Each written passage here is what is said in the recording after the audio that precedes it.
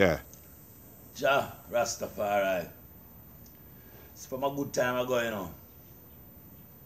I realize, say, you see the phone, and we're plugging our ears from the phone to your ears, come like an appliance socket where your ears is the socket, and that little ear plug you plug into your ears is the tri the tri the tri the tri prong thing that you put push into the electrical socket on the wall. So I look on it now, I look on it as a way Babylon used to engrain the mark of the beast, the 666. Give it a 666 mentality, the mentality of the mark of the beast. You understand me? So, because that's what the, the aim of the, the media is, is to push with you, because they are underneath the, the umbrella of the Luciferian agenda. You know, them are the Luciferian agenda. So they are here to actually put us into that frame of mind, into that mode of thinking, which is like an MK ultra control, you know, mind control. You say what they want you to say and how you should say it. So they even make your vocabulary for you. So you don't know, say the real mark of the beast now, the one we're coming shortly right now, which is the, you know, the chip, which is gonna work with the satellites, which Elon Musk sent out his um shuttle the other day recently, the shuttle, and they call it the, the Dragon, that capsule that takes back the uh, took back the astronauts that land into the, the, Gulf of Mexico. Those guys from NASA, you know, these guys they travel in a boat in a, in a, in a, in a capsule called the Dragon. Now we are in the time of the dragon, as in you know from the time of Revelation chapter 30, where the dragon gave its power and seat of authority unto the beast. You know our world, three things, you know, four things the Bible talks about. Talks about.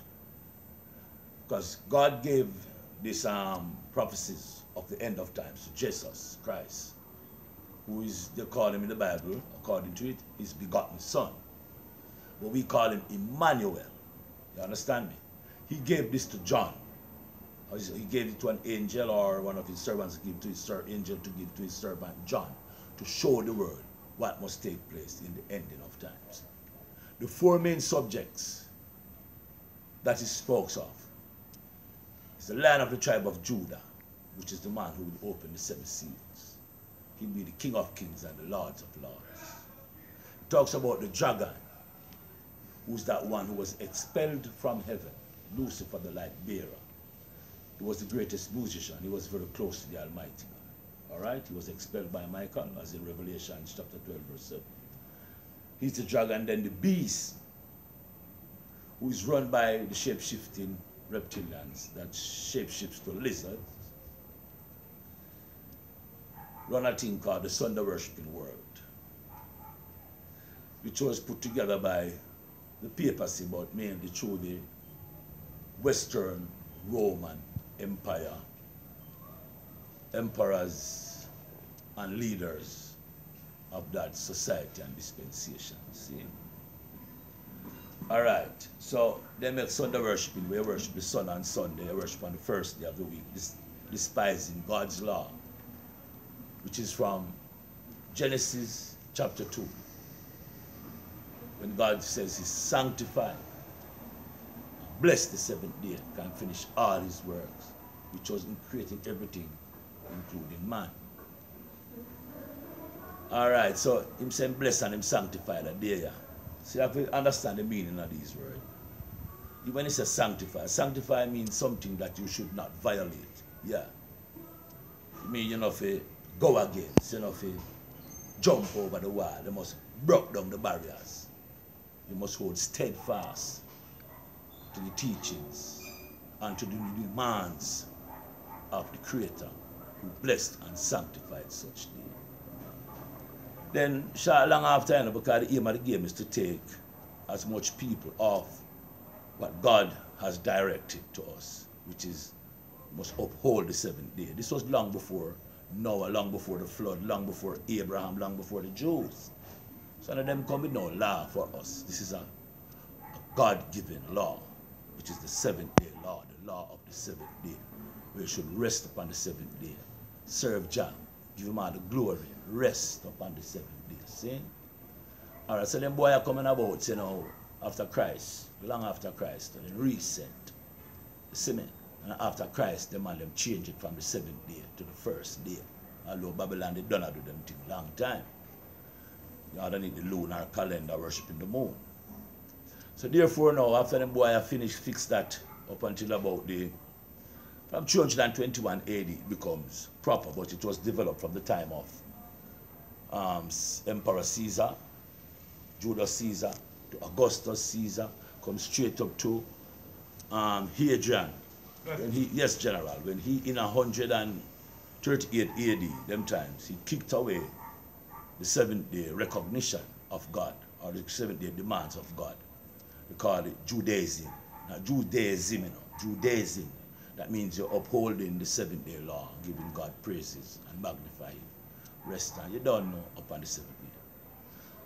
So now after that now, to take away more people from off this, the, the, the, the seventh day, because that is Lucifer's purpose, you know, to get as much people away from God.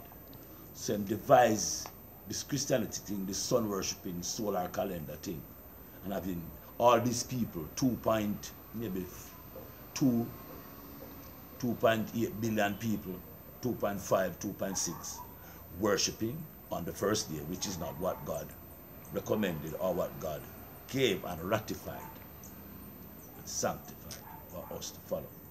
So them take away a portion. Then now they, they are not satisfied, Lucifer. So he developed the Muslim world through the false prophet Muhammad. Because that's one of the next man the Bible talks about now. That is the bee is the lion of the tribe of Judah, the dragon, the beast, and the false prophet. So the false prophet is Muhammad, who has caused people to worship on the sixth day, which is Friday, not the seventh day, bowing to a stone, telling lies that the stone came from paradise and that Gabriel took the stone to Muhammad. Some, uh, uh, some other narrative says, our literature, it says somebody went up on um, Abu Qubays mountain, Saudi Arabia, in the Quraysh region, and found three, two or three stones on the top of Abu Qubays mountain. Nobody saw who put the stone there. Saw who put the stone there. So therefore, it's just conjecture. All these things are made up, which was only a setup by Lucifer to take away more people from off the seventh day. So Bam Muhammad now built this, this religion called Islam, having people bowing to a stone, which is idolatry. Because you know Leviticus chapter 26 verse 1 says, you must not set up any form of idols in your land. You must make any image of stone in your land and bow down unto it. Because it is a, an abomination unto the Lord thy God. You read it. You see me? You can't worship on another day. You can't bow to no form of idols. And that's what they have done now. With this black stone, which is in the, the Kaaba in Mecca, which they are saying that's what Abraham built Kaaba. Abraham built which Kaaba? Stop chat bullshit over here, here. Alright, so Muhammad, so these guys come and take away another 1.8 billion to 2 billion people, 2.8 billion people off the Sabbath. So out of the 7.8 billion, 4.8 million are gone to the two, two, gone off God's law, going underneath the umbrella of man's law from off the Sabbath, which is about 4.8 billion people. You see me? Now, you know, say we are the lion of the tribe of Judah. Because we are all with King Selassie. You understand me? King Selassie the one, is the last lion of the tribe of Judah, physically now, upon the face of the earth. Because, you see, you see, if you recognize Christ in these times, you have to recognize Christ by his titles. You can't recognize Christ by no man coming to tell you that there goes Christ, or that man is Christ, or such is Christ.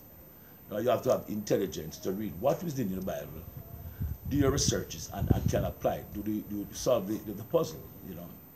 Solve there is a problem that is there to find out who is the lion of the tribe of Judah, what is the lion of the tribe of Judah, where is this title coming from, who is the first lion of the tribe of Judah in real life. Now, as we know, Everything is Abrahamic when it comes to religion nowadays. But Abraham come from Shem. Shem come from Noah. Noah come from way back when. All right, Terah, all them guys. All right. So, the man there make, make, make, make, make, make, make, make, make, make, make Islam. No, sorry. The lion of the tribe of Judah is the one that God uses to teach the world and that Christ land where Christ is coming through. To maybe when Christ first Christ come, and I talk about no image of the beast, that white painting of Jesus Christ. Now. But I talk about the real Christ who went upon the cross and shed his blood for I and I. That you even can see all the imprint in a King Selassie hands. Alright. So the line of Judah is coming through the line of Shem, through Noah coming down. So till it reach Jacob. Jacob have 12 sons. See one of them named Judah. And one of them named Levi. You see, Judah the man born July, is the fourth son of Jacob. So out of that man, out of that line of man, you shall get the lion of that tribe of man called Judah. So who are going to be the lion? So you know, so Saul was the first king of Israel. And Saul had problems with the Philistine who were represented by the main warrior who was Goliath. You know, David went there. You know the story. David was in the hills looking after the sheep. You know, the man there fight bears, lions. He went home, his mother said, take the food of his uh, has brothers like Jonathan and them guys who was fighting the war with Saul against and defending Israel. So therefore, when David came to mommy, mommy said, take this your lunch for your brothers on the battlefield, the front line. Went there, he saw everybody quivering, all of the, all of the, the house of Israel, you know, quivering. Saw King Saul in a very, you know, reluctant state. Don't want to fight no battle afraid of Goliath. You know who send out to go travel Goliath because Goliath was there mocking them. Big, tall, strong Goliath with his big sword and spear and big helmet, big body armor. So David says, are you afraid of that little guy? What is happening? Because he just came out with the lunch for his brothers. And them said, that man up there, Goliath, we can't manage him, you know, he will kill us down here. See me? We slaughter away. David said, a joke, man. I will slaughter him for you. So they were all laughing and jeering, you know, no, you know, David, even his brother saying he should go home and take care of the, the sheep until he, he endured them. And they gave Solomon, Saul said, all right, let's see if you can kill him. Solomon gave him his armor and his spear and, you know, helmet and it was too heavy. David had said, get out of that. But on him he had his little satchel full of stones. And, you know, him not left him, him, him, him sling. Because him use a sling and stone them man they use to the bear and the dragon and, and I mean the bear and the lions and who attack him come to tear up the sheep in the, in the pasture. Bam, David took on Goliath and slew Goliath. One stone and I made out time sling. Go over Goliath and chop off Goliath's head. And immediately David became known as the Lion of the tribe of Judah because everybody was singing because he defeated the Philistine. They ran away after Goliath's head was chopped off by, by this youth. You see me? Boom. That's how I get the name of Lion of the tribe of Judah, because the ladies now in Jerusalem, they were singing David killed 10,000 and Saul killed 1,000. So David now became the first lion of the tribe of Judah. Then till Solomon became the lion of the tribe of Judah as well. So we're looking at the title, although Solomon now became the lion of the tribe of Judah, the root of David. All right. So from the lion of the tribe of Judah, the root of David, which was the second step of the title, from David to Solomon, it lasted and that was a thousand years before, 900 years, 900 and odd years before Jesus Christ. It lasted from that time with lion of the tribe of Judah, plenty kings and emperors, because it went to Ethiopia through the son of Solomon via the queen of Sheba on her visit and the covenant of salt and Solomon tricked her and got a son called Menelik, you know. So Menelik now became the king of kings, lords of lords, conquering lion of the tribe of Judah root of David. But you, if you should watch the word, Lion of the tribe of Judah, David. Solomon became Lion of the tribe of Judah, root of David. But still, the Lion of the tribe of Judah title is still traveling, coming from David into Menelik, and from Menelik in Ethiopia, it lasted until Haile Selassie, the last king of kings, lords of lords, conquering lion of the tribe of Judah, the root of David. Haile Selassie is the last one. You don't have another one sit upon the throne. So from our interpretation in the Bible, it says, and he that prevaileth to lose the seven seals, it says, he that sat upon the throne of the book in his hands, sealed with the seven seals on the front and on the back. And there was no man on earth or in the earth or under the earth found worthy to open this book. And he wept much. But listen carefully. But one of the elders says, Weep not. Behold, the lion of the tribe of Judah, the root of David, has prevailed to open the seven seals. What did he say? He says, The lion of the tribe of Judah, who is David from up there? He was the first lion of the tribe of Judah, has prevailed. That means from them times it prevailed to about 2,970 odd years.